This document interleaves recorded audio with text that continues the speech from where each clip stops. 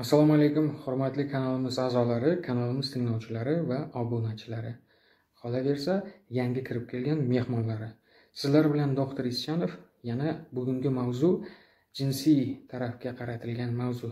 Ko'pchilik erkaklar yigitlar aka ukalarimizdan yoshlardan kelib tushgan savollardan kelib chiqqan holda ushbu video lavhani sizlarga tayyorlab tibbiyotdan isbotdan o'tgan ma'lumotlarga asoslangan ravishda shifokorlik kasbimdan kelib chiqqan holda sizlarga tibbiy javoblarni berib o'tmoqchiman. Ya'ni hammangiz bilgan bo'lsangiz kerak bugungi mavzu erkaklarni masturbatsiyasi haqida.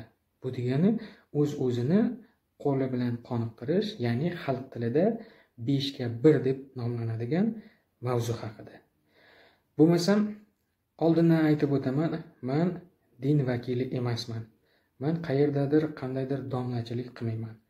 Man davlatni maxsus ta'limini olib shifokorlik diplomiga ega bo'lgan vrachman. Shu sababdan ham tibbiy taraflama javob beraman.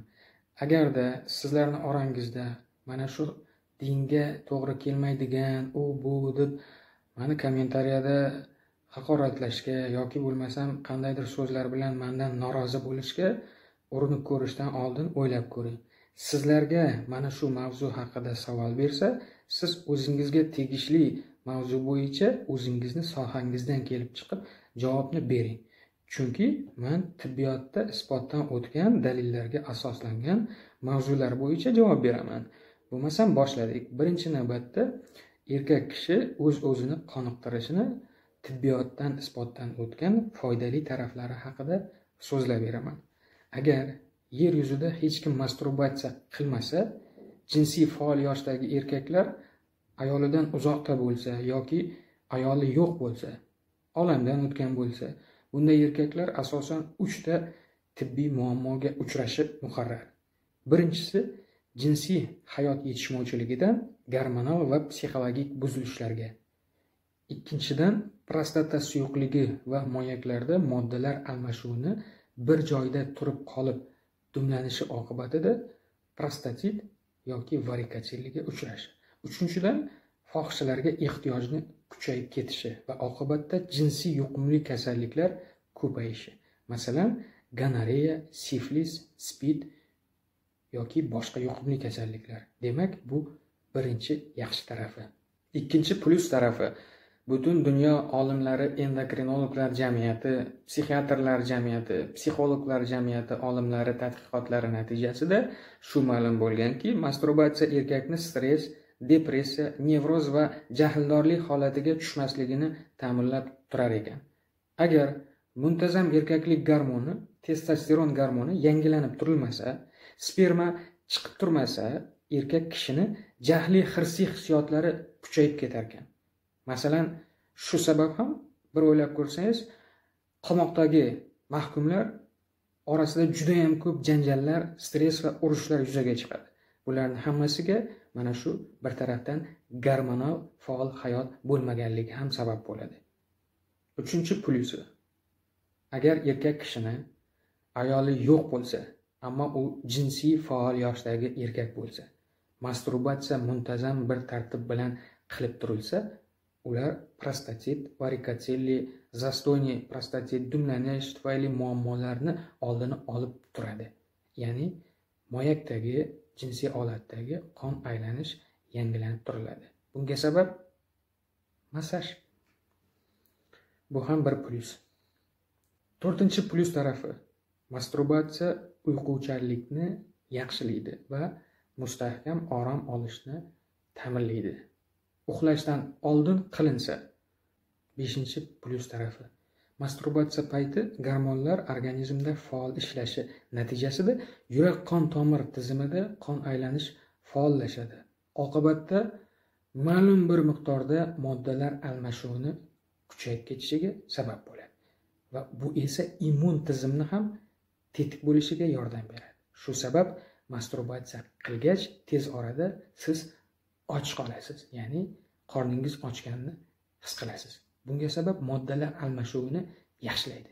Bu ham bir plyus tarafi azizlar hali xulosa chiqarishga shoshmang. Buni minus taraflari ham bor.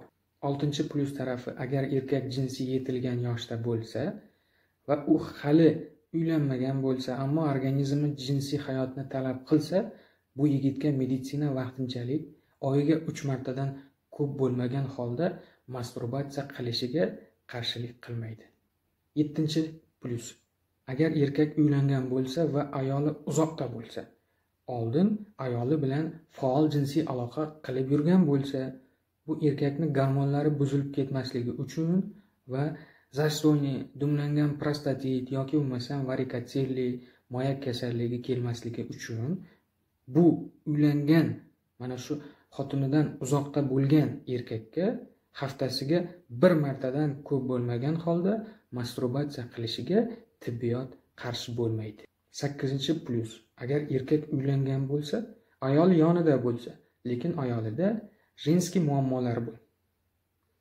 Sakkizinchi plyus agar erkak uylangan bo'lsa ayoli yonida bo'lsa lekin ayolida jinsiy kasalliklar muammolar va boshqa holatlar bo'lsa jinsiy aloqa to'xtab qolgan bo'lsa u holda mana shu jinsiy faol yoshdagi erkak haftada bir marotaba masturbatsiya qilishiga meditsina qarshilik qilmaydi.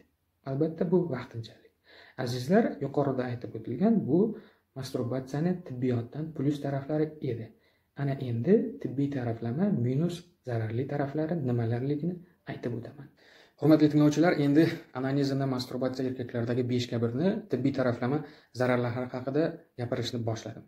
Birinchi minusi. Erkak masturbatsiyaga o'rganib qolishi mumkin. Miyasiga yoqqanligi tufayli u o'zida o'rganishni chaqiradi. Agar mabodo shu yigit uylangan bo'lsa oilali bo'lsa mana shu ayoli bilan yaqinlik qilishdan ko'ra bir chiroyli videoni atletkedek endi degan videoni ko'rib maza qilib bir g'ijimlab g'ijimlab o'zini yuragini sovutib chiqishni ma'qul ko'radida natijada shunga o'rganib qolib sekin sekin ayoli bilan jinsiy aloqa qilishdan o'zini olib qocha boshlaydi. Ana endi bu narsa ikkala er xotinni o'rtasidagi munosabatga putur yetkazadi. Bu birinchi minusi. Ikkinchi minus tarafi. Mana shu joyida barcha o'smirin yigitlar yaxshilab tinglab olishi kerak. Agar ulg'ayish o'smirin yoshidagi yigit o'n yetti yoshidan oldin u ananizm bilan shug'ullansa onanizm masturbatsiyani boshlab yuborsa u holda uni organizmi o'zini yetilgan deb hali katta bo'lgan erkakman deb organizmi hisoblay boshlaydida. Va asosan erta jismoniy o'sishdan ulg'ayishdan bo'y cho'zilishdan aqliy faollikdan to'xtashni boshlaydi to'xtab qoladi. Asosan shu spermani ishlab chiqarishga butun organizm o'zini kuchini shunga qaratadida natijada o'sha o'n yetti yoshli yoki bo'lmasam yigirma yoshli yigit yigirma besh yigirma yetti даже o'ttiz yoshli yigitga o'xshab qoladi. Xuddi sigaretaga o'xshab u qarilikni chaqiradi. Ana endi mana shu yigit o'sishdan to'xtaydi. Bo'yi bir oltmish besh bir oltmish uch bir oltmish yoki bo'lmasam bir oltmishga yetmay ham qoladi. Sababi gormonal faollik boshlandi. Organizm endi to'xta deydi. U deydi уже boshladi buni deydi. Bu o'sish kerak emas endi bunga sperma ishlab chiqarish kerak deydi. Miyadagi mana shu organizmni o'stiradigan markazlar to'xtaydida давай mayaklar spermani chiqarishni boshlanglar. Bu yigit endi katta kishi bo'lib ketdi bu deydi. Ana bu ikkinchi minus tarafi. Uchinchi minus tarafi masturbatsiya qilgan erkak o'rtacha yuz kilokaloriya yo'qotadi. Bu esa unda jismoniy toniqishga yoki taliq.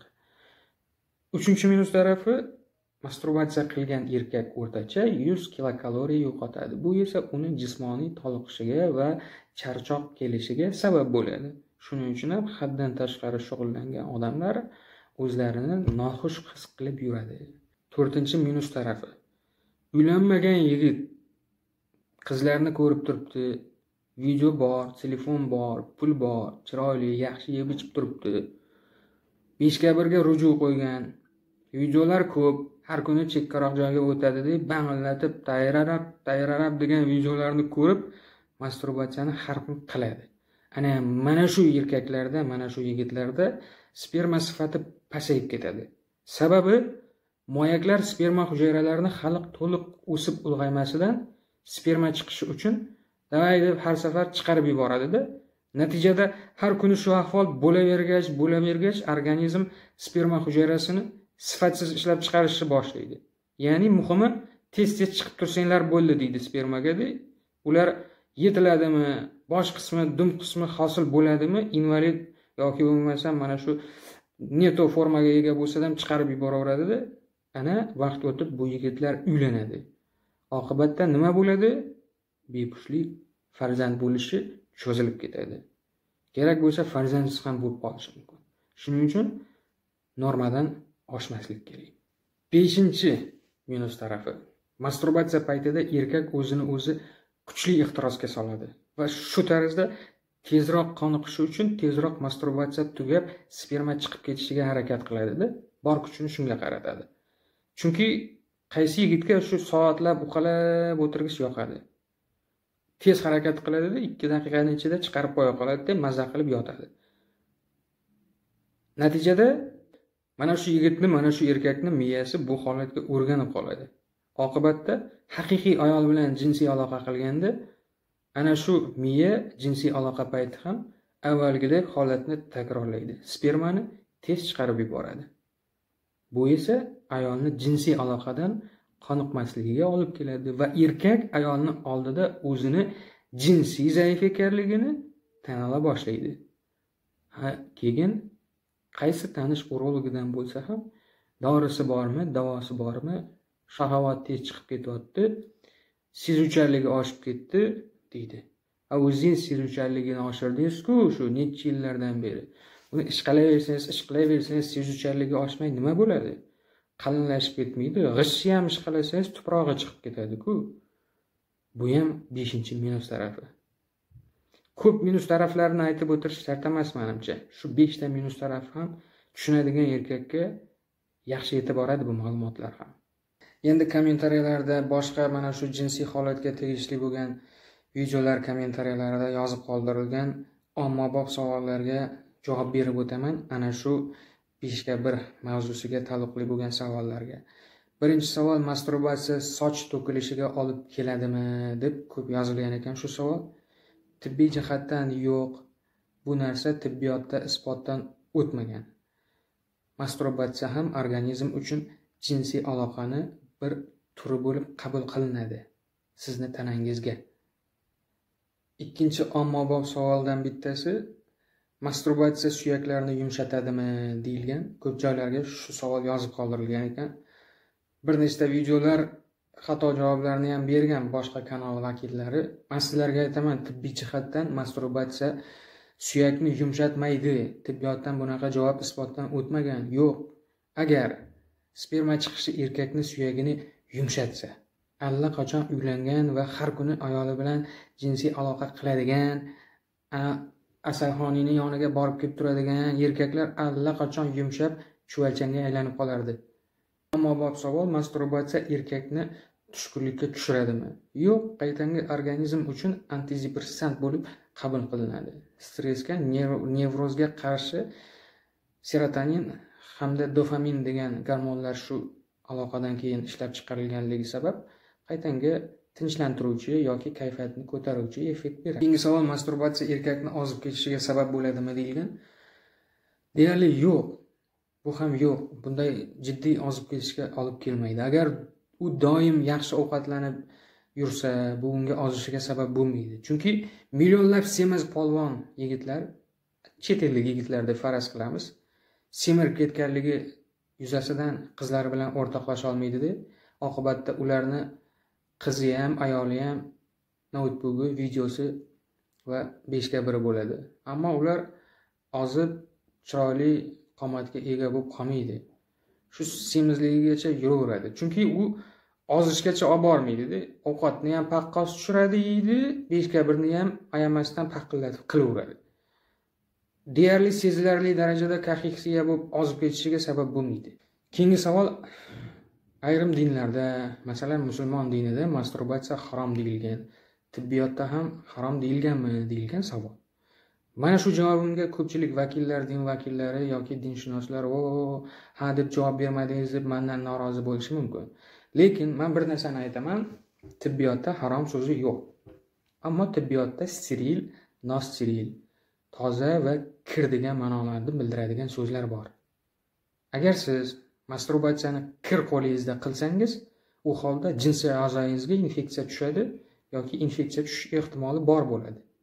Mana shu biz uchun meditsinada nosteril bo'ladi. Agar siz mana shu beshga bir qilishdan oldin qo'lingizni yuvib keyin qo'lingizni ketidan spirtlasangiz tibbiyotdan qo'lingiz steril toza qo'l bo'ladida.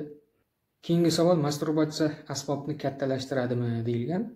Agar har safar masturbatsiya qilinganda oziqlantiruvchi питательный kremlar va tibbiy yog'lar suyuqliklar surilib shifobaxsh shunaqa suyuqliklarni surib qilinadigan bo'lsa bu holda masturbatsiyani massaji qon aylanishini yaxshilashi va krem mazlar питательный ovqatlantiruvchi mana shu ta'sirlar olat to'qimasini ovqatlantiradida mana shu to'qimalar hujayralari kengayib to'lishib shuni hisobiga ozgina kattalashtirganday bo'ladi. Keyingi savol masturbatsiyani tashlashni dorisi bormi tibbiyotda deyilgan. Meditsinada aynan shu uchun dori yo'q ammo psixoterapevt dorilari mana shu borki erkakni ehtirosini kamaytirib jilolashga yordam beradi. Shuni natijasida u vaqt o'tishi bilan tashlab yuborishi mumkin. Yoki bo'lmasam adasiga yetish kerak deb boplab savalatish kerak bo'lmasa chiroyli bir yaxshi ko'rgan qiziga uylantirib qo'yish kerak. O'shandagina tashlab yuboradi. Azizlar shuning bilan sizlarni ko'pchiligingizni savollaringizga tibbiy taraflama javob berdim degan umiddaman. Nima bo'lsa ham man tibbiyotdan isbotdan o'tgan dalillarga asoslangan ma'lumotlarni sizga shifokor sifatida yetkazib berdim. Haq huquqim borligi uchun. Man endi maqtanib ayrim doktorlarga o'xshab stendlarga yoki chiroyli stullarda mana bunaqa qilib o'tirib sizlarga aql o'rgatib u bu deb o'tirishni o'zimga o'rnak bilmayman. Sizlarga haqiqatni borni gapirib beraman. O'zlaringiz xulosani chiqarib olaveringlar. Sizni hayotingiz bu sizni hayotingiz. Man bu yoqda emas sizlar u yoqda ammo lekin man sizlarni savollaringizga video ma'lumot tariqasida shifokorlik video ma'lumot tariqasida shifokorlik lavozimimdan chiqib kelib ozgina bo'lsam savollaringizga javob topib berishga harakat qilaman. Ikki og'zim yaxshi maslahatni bergan ma'qul man uchun. Azizlar salomat bo'ling. Sizlar bilan doktorchan Coşkunca.